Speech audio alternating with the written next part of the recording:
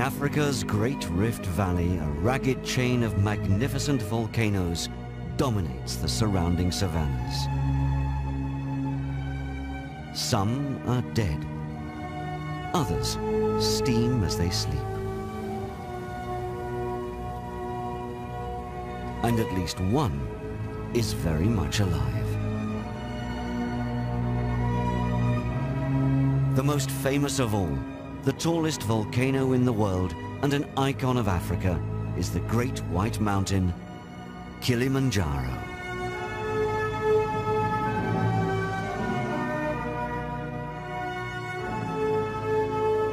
Snow and ice so near the equator fires the imagination.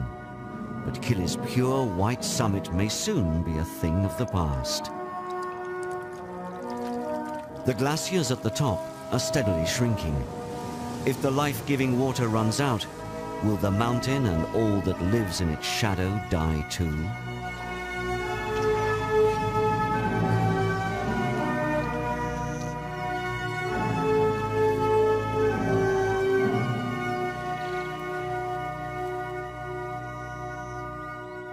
Kilimanjaro stands in Tanzania, East Africa, just south of the Kenyan border.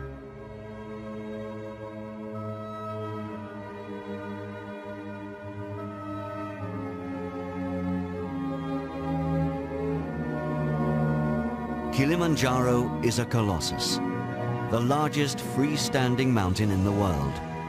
It cannot easily be brought to its knees. Three degrees south of the equator, Kili rises to a height of nearly six kilometers. Its footprint covers over 1,600 kilometers, twice the size of London. The immense weight of this massive mountain has depressed the surrounding plains by nearly 200 meters. Its famous snows disguise its own violent volcanic origins. It last exploded 400 years ago. Since then, it's been sleeping, but could awake at any time.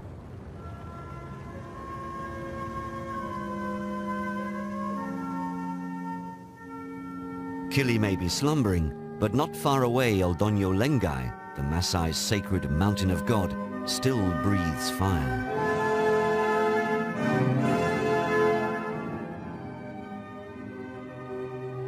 At 2,700 meters, Ol Doinyo Lengai is a mountain in the making, and the only active volcano in the Great Rift. Down in the depths of its crater, molten lava can bubble up from open vents at any time.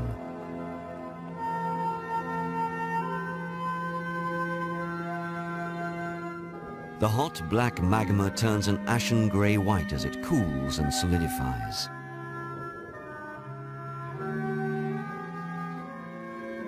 Lengai last erupted violently nearly 40 years ago, and it smothered everything with a suffocating cloak of ash. But life soon returned, even to the very top.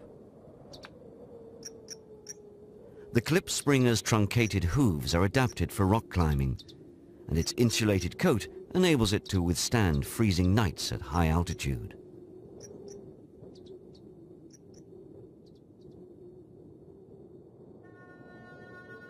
Mount Meru erupted 80 kilometers to the west of Kili.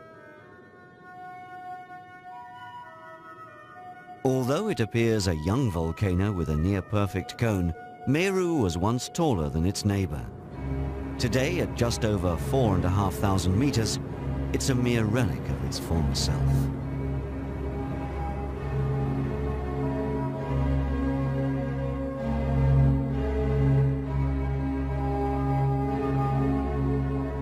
Volcanoes, for all their present tranquility, are born of tumultuous times.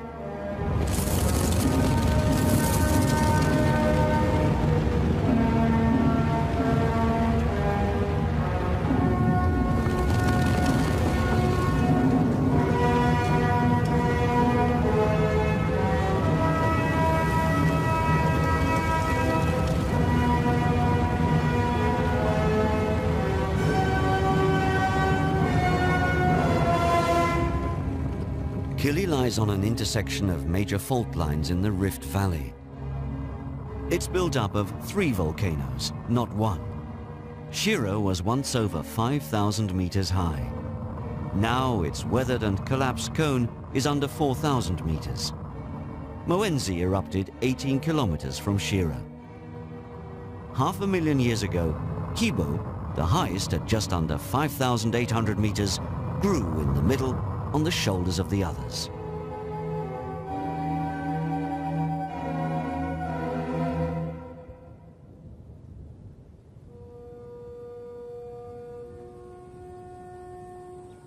Of all the animals living in the shadow of Kilimanjaro, none is more associated than elephants.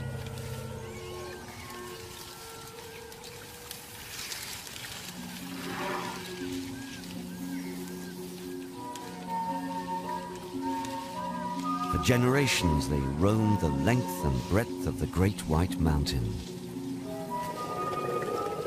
Now people have claimed Kili for themselves, and these gentle giants are only found on the northern and western slopes.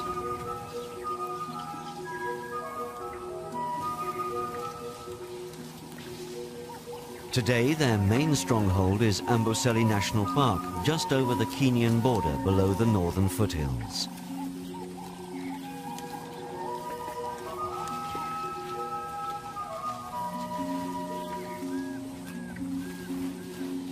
Elephants survive here because the park is protected and the mountain is a great provider.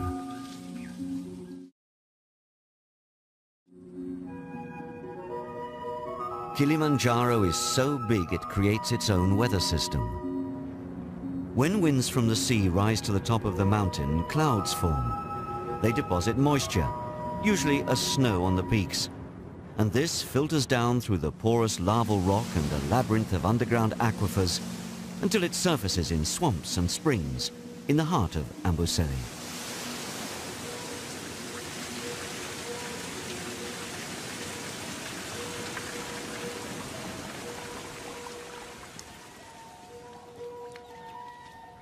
Where there is water, there's life.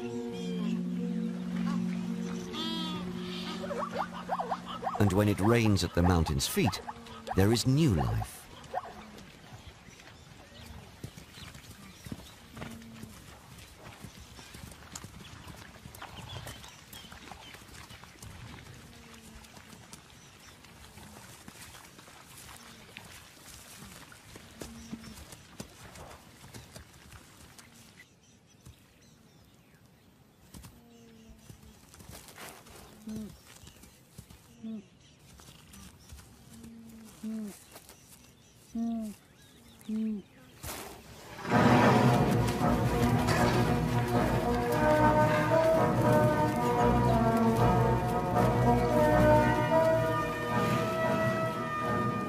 Not a lot makes a mature elephant run.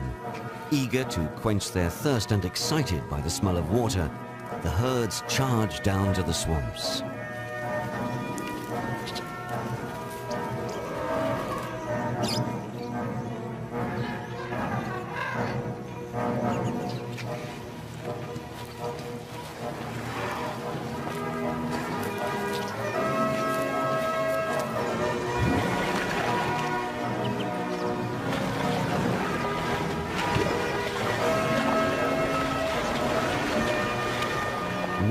Central to the lives of the Amboseli elephants. Given a choice, they like to drink every day and can swallow 11 liters of water at a time.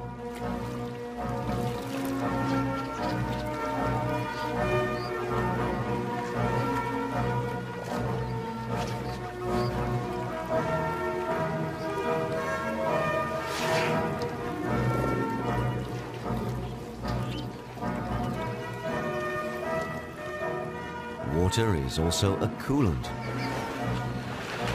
And muddy water acts as a natural sunscreen and insect repellent. Splashing about in mud also looks a lot of fun.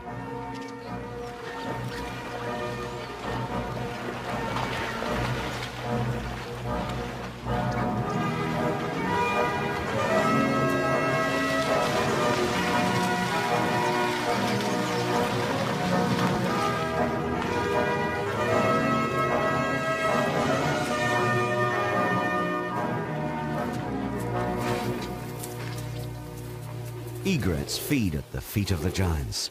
They eat insects and perhaps reduce the number plaguing the elephants. Maybe this is why they're allowed to hitch a ride.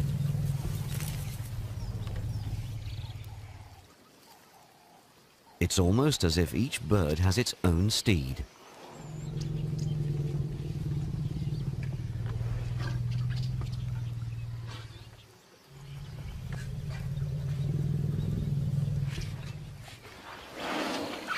A ton of elephants wading in the shallows disturbs a lot of mud and all the creatures that lurk in it.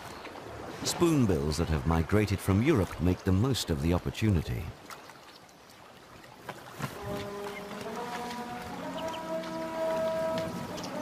Elephants cross to islands in Amboseli's swamps. They're good swimmers.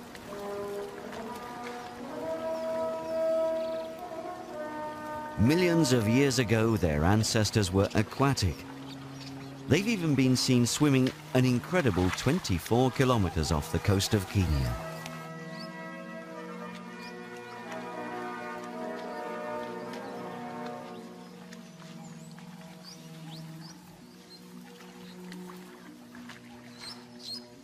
An elephant's trunk is its most versatile tool. Swamp grasses are not firmly rooted. The elephants bite off the green shoots, leaving roots and mud behind.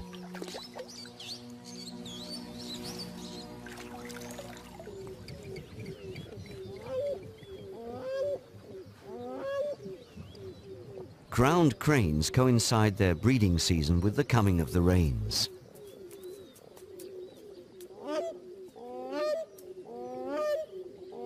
Their elaborate performance is designed to impress a mate.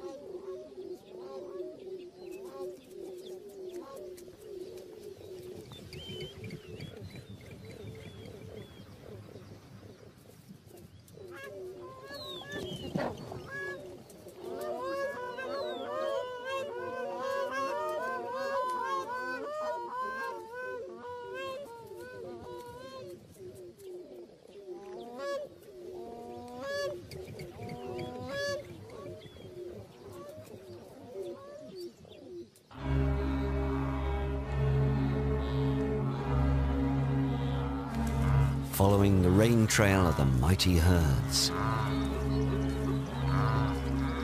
Wildebeest wander the plains below the mountain forever in search of new grass. And where there is prey, there are predators.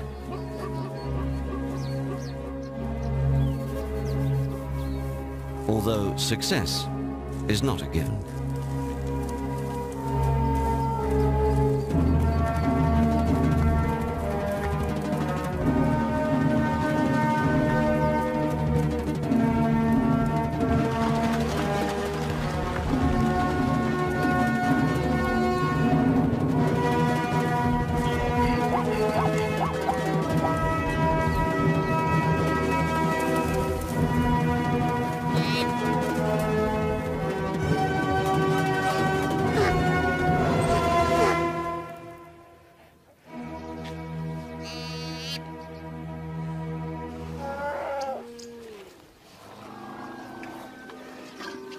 Elephants can give birth all year round, but most are born after the rains. This tiny baby is newborn. It's still unsteady on its feet. Its mother is anxious to join the rest of her family.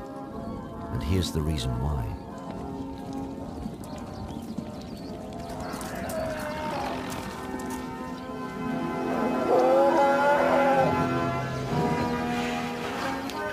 A lion could kill an elephant calf, but the risks of being injured by such a powerful mother are too great.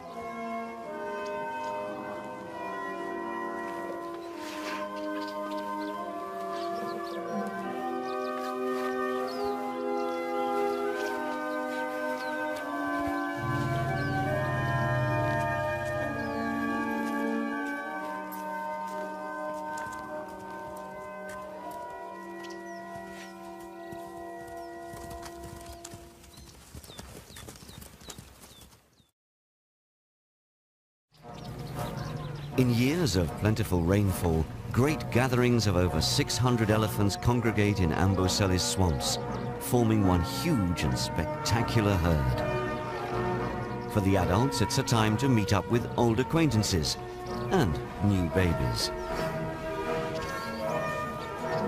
For the youngsters, it's an important time to learn by watching the adults and socializing with others of their own age. It's like one big elephant festival.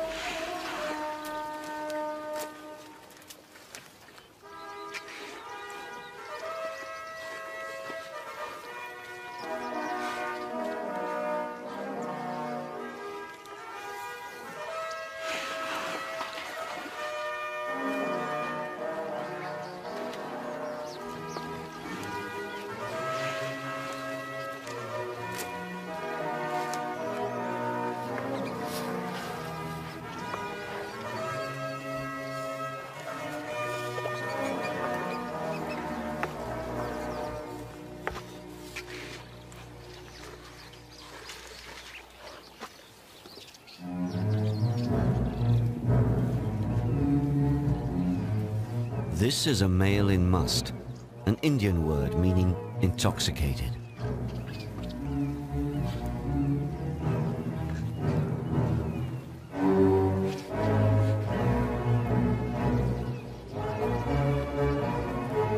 Flooded with testosterone, a musth male's prime objective is to find a mate.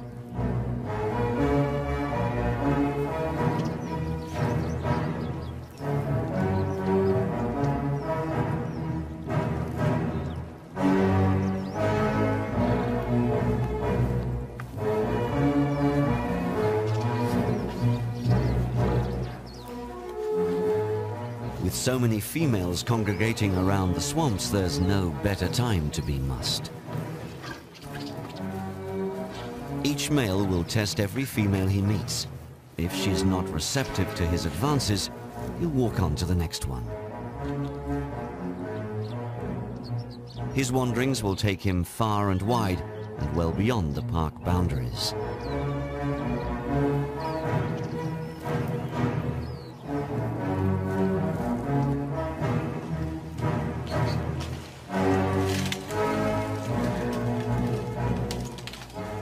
Elephants cannot survive on marsh grasses and reeds alone.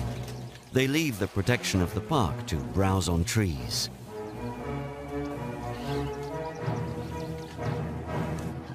And when they do so, they're in danger.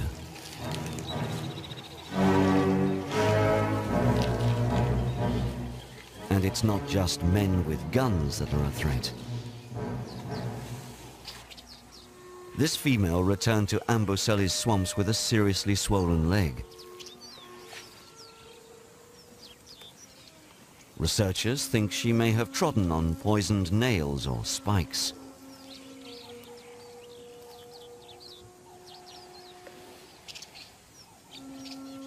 She's been limping for months, but fortunately she's slowly getting better. Another female was not so lucky. The infection in her foot led to septicemia, and she died of blood poisoning.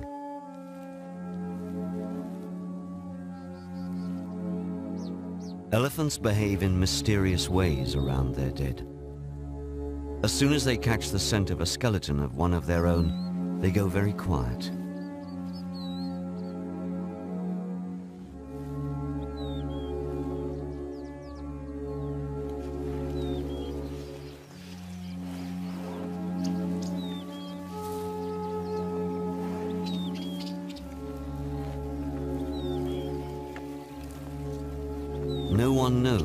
Stroke or pick up the bones. They don't behave in the same way to the remains of any other wild animal.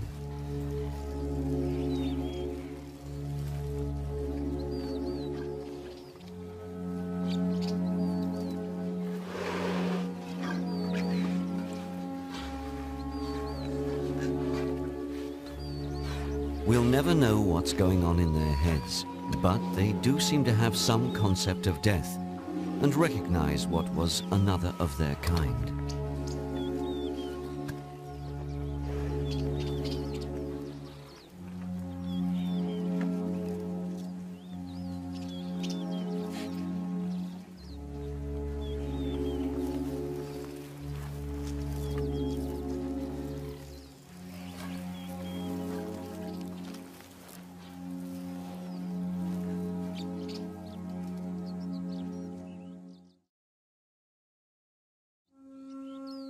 Snares are cheap, deadly, and indiscriminate killers. They're set to catch small animals for the illegal bushmeat trade, but they trap anything that steps in them.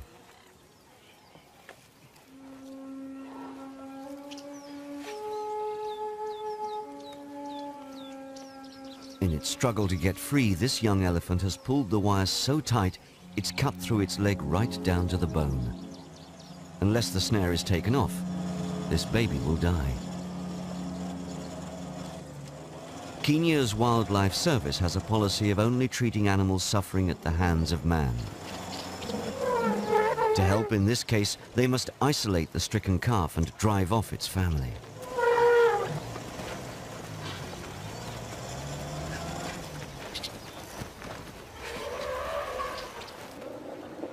The little Kili elephant has been darted and the snare is being removed.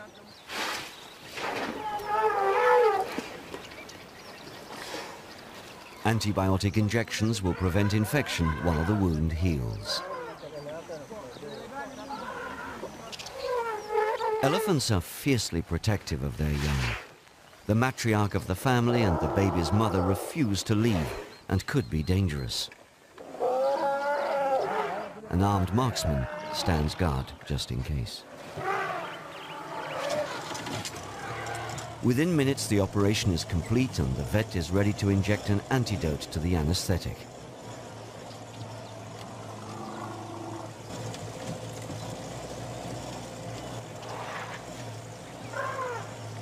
Although very frightened, the family stay as close as they dare.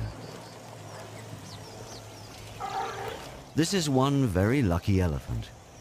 The vets reported that its chances for a full recovery were high.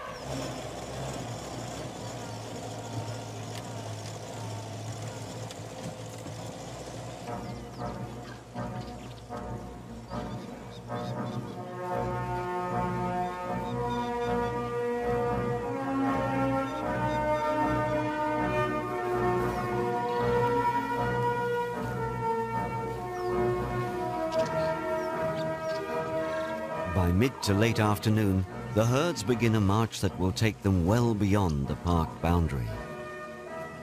Many families move up the mountain where the higher ground and richer earth produce more nutritious and tastier plants. As they head towards the foothills, they move into Maasai thornbush country. Cattle are a Maasai's prized possession.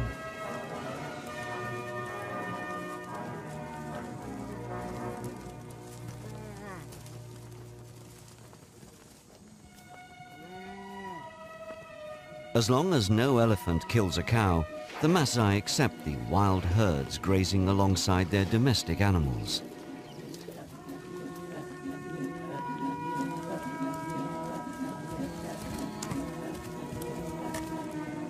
This warrior tribe has a fearsome reputation, but they don't kill game for meat.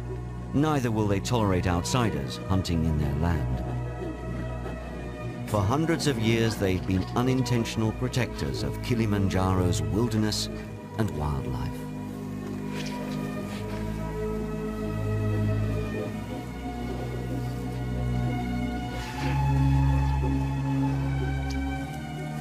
However, when rinderpest killed thousands of Maasai cattle, the tribe was weakened, and this allowed an invasion of strangers, including hunters and poachers. Ultimately, this led to the international demand for ivory and the elephant's demise. Although the Maasai do not hunt wildlife for food, a few elephants are speared every year by warriors proving their might and bravery. These attacks are enough to keep the elephants wary. Elephants have been trudging up Kilimanjaro for thousands of years. They move through the dry thornbush country and up to the cooler meadows found at around 2,000 meters. This fertile belt is now intensely farmed, and almost all of the elephant's traditional migration routes have gone under the plow. Here, even the Maasai are using their precious cattle to cultivate the fields. As farmers rather than herdsmen, they'll not be so willing to share their land with wildlife. Increasingly, there are complaints about destroyed crops and a need for more land. There is one narrow corridor left through which the elephants can move up to the forest. But without good incentives to keep a safe passage open, how long before people look to the corridor to feed an ever-growing number of human mouths?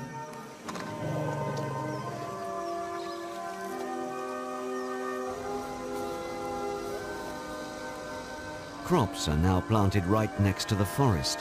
Lush fields full of maize, wheat and barley are hard for wild animals to resist.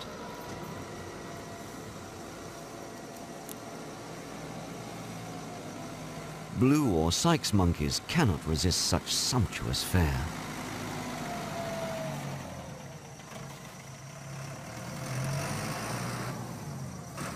When people grow crops right next to the tree line, they're inviting trouble.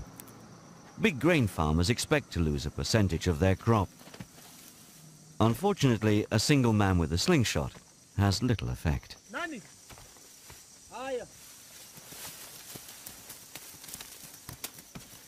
Monkeys are intelligent.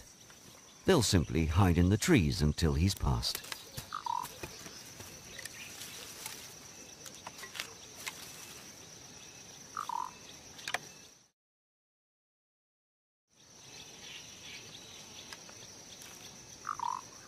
True denizens of the forest, black and white colobus monkeys were once a marksman's target.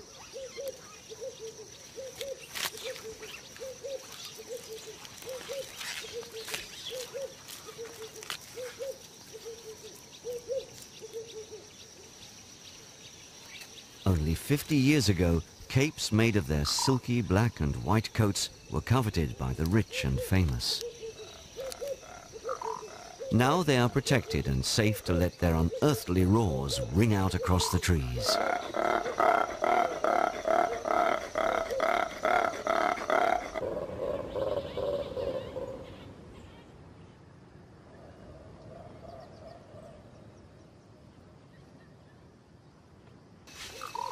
Canopy is the monkey's highway in the forest.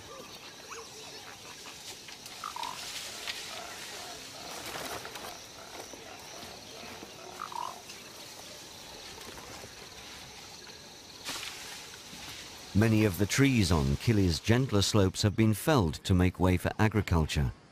But between two and 3,000 meters up the mountain, there's still some rainforest left. And amazingly, there are elephants right up here. Kilimanjaro's elusive forest elephants. Shy and retiring, they try to stay hidden.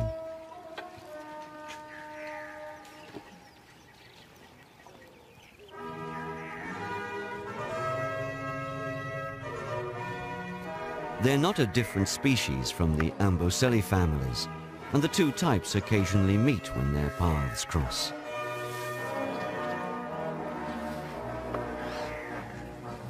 Twenty-five years ago, there were a thousand forest elephants on the mountain. Now, there are only 220. Poaching for ivory reached fever pitch in the 1980s and hit the Kili elephants badly.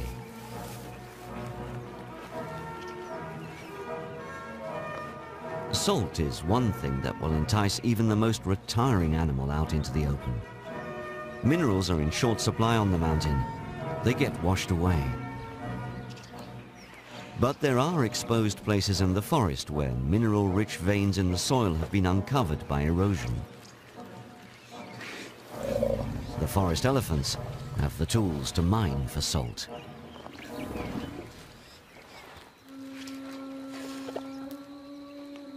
Above the forest in a panorama that conjures up images of goblins and elves, tussock grasses and tree heathers dominate the landscape.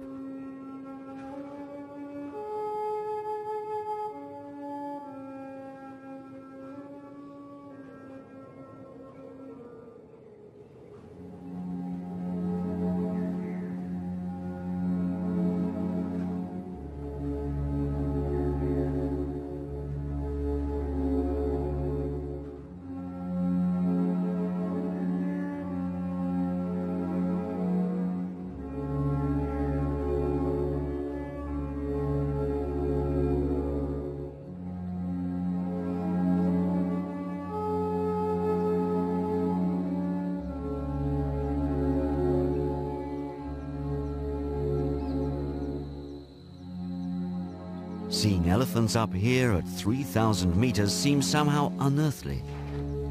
Yet surprisingly for such big animals, they can achieve great heights.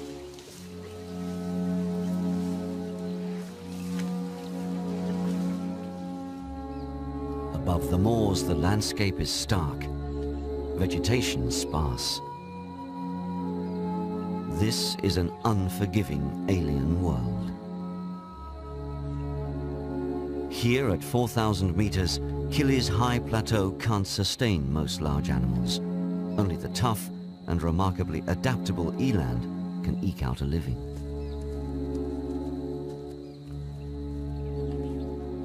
One reason why there are so few large wild animals on the mountain is because there are so many of one animal in particular.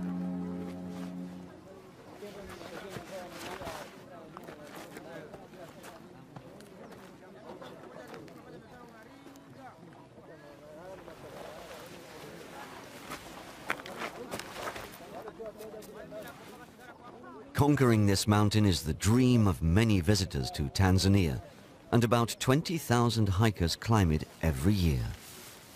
Rubbish was a big problem, but now most of the tour organizers abide by the motto, leave only footprints.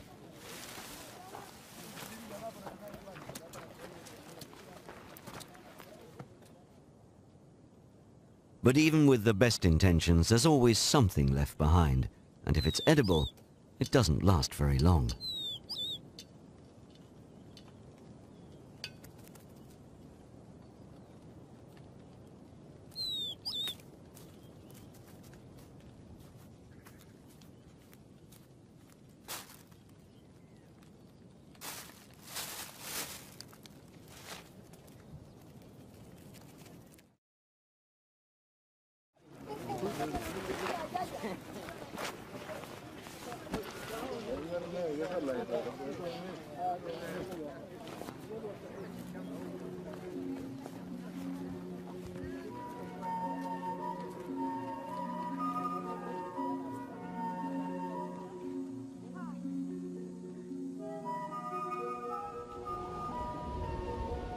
Sudden changes in cloud cover and wind force can cause a drop of 20 degrees in as little as 30 minutes.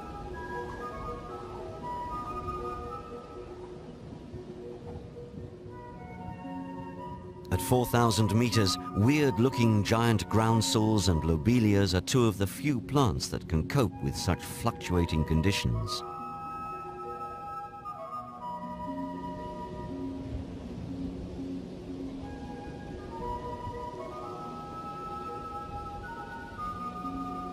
After a night spent tightly closed, lobelias open like a new flower to greet the rising sun.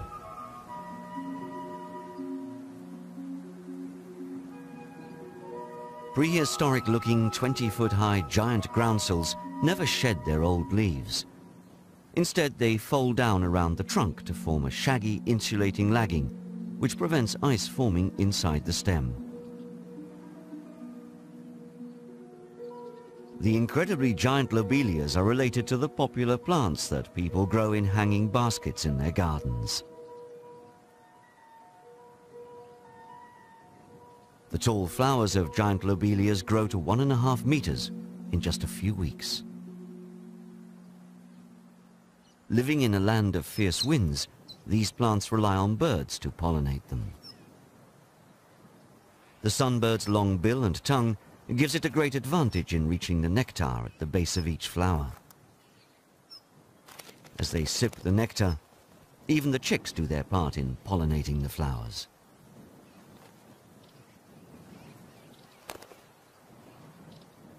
This iridescent little bird has an intimate relationship with this astonishing plant and is the only sunbird that can live at such great height.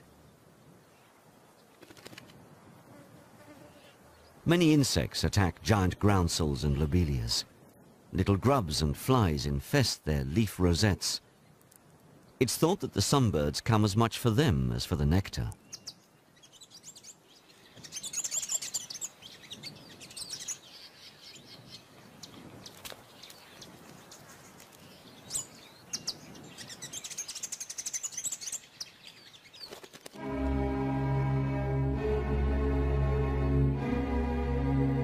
Great is its height that nowhere in all of Africa is harsher than Kilimanjaro's upper slopes. It came as a great surprise to the famous explorer Wilfred Thesiger to encounter wild dogs at 5,800 meters.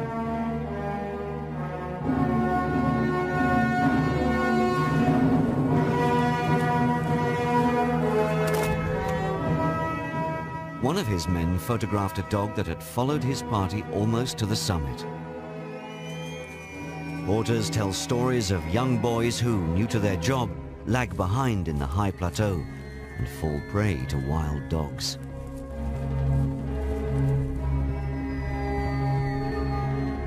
And it's possible these aren't just fanciful tales.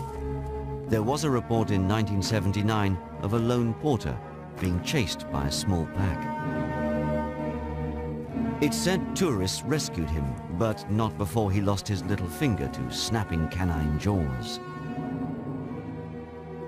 Agile dogs are one thing, but a lumbering elephant up near the top would seem impossible. Yet a sun-bleached elephant skeleton was found years ago at four and a half thousand meters. Recently, this one was discovered one and a half thousand meters higher.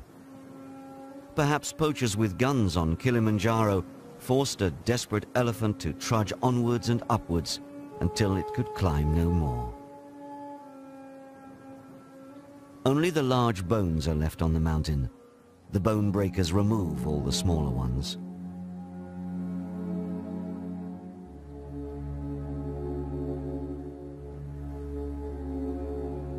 Lammergeiers, or bearded vultures, Africa's largest birds of prey, eat bones. Food is so sparse on these upper slopes that the mountain can only support a few pairs.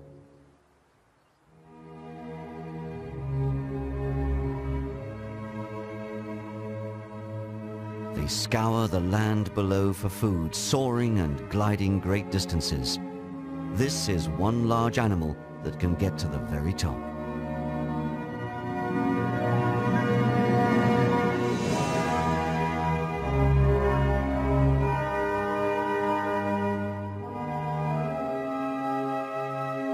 The crater at Kilimanjaro's summit stretches over half a kilometer across. Locked in by snow and ice, it's hard to believe that it once boiled over with molten lava.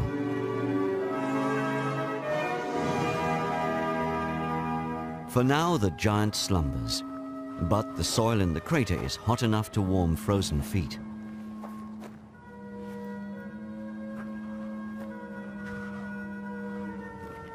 As it sleeps, Kili exhales hot breath. Fumaroles, or vents, release hot gases, showing that this mountain is far from dead.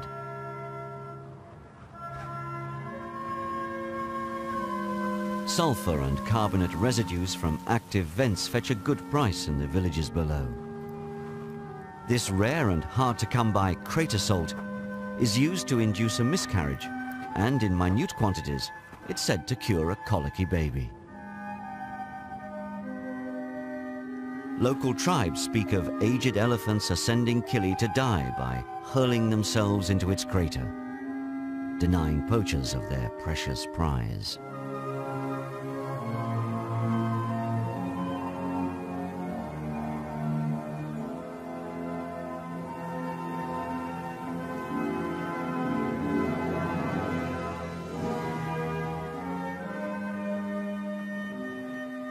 Any man who dares can climb down into the ash pit at the center of the crater. But if he's greedy and takes the biggest tusks, he'll be struck blind and fated to meet a wretched end.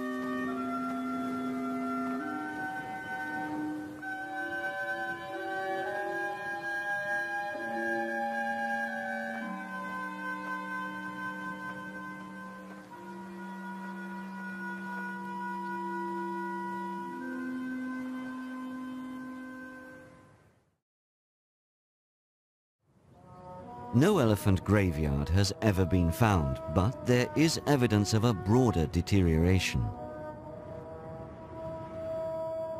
Nothing is immune to the forces that shape our planet. Even the two and a half square kilometers of glaciers right at the mountain's peak. In these frozen, oxygen-starved heights, it's hard to believe that the equator is just three degrees to the north, and the scorching plains are just a few kilometers down below.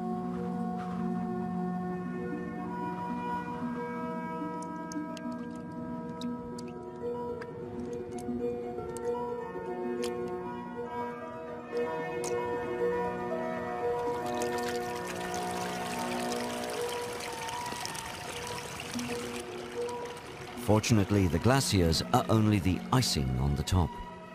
The water that melts from them simply evaporates into the thin air. But what gives the mountain life is water from another source. It's the forests that are essential. This lush belt of trees absorbs rainfall and moisture from the clouds. The mosses and lichens that cover everything in the forest act like a living sponge.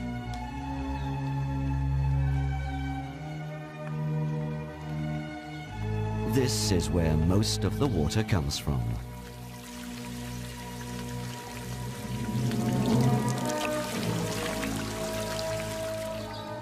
Destroy the forests and Kilimanjaro will be laid bare. Then its slopes and surrounding plains will wither and everything living in its shadow, including its most valuable and vulnerable animal, will suffer.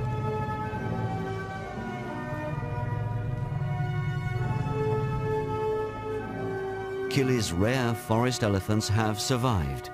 Just. Tear down the trees and they will have nowhere to hide.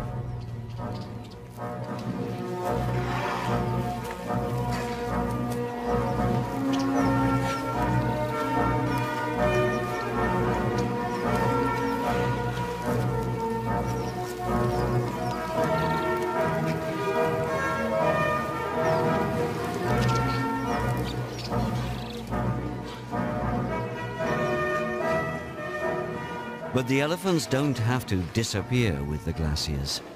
Kilimanjaro may lose its tiara of ice, but it will still snow at the summit. The mountain won't lose its symbolic white crown. As long as the forests remain intact, the Great White Mountain will continue to give life to all that lives in its shadow.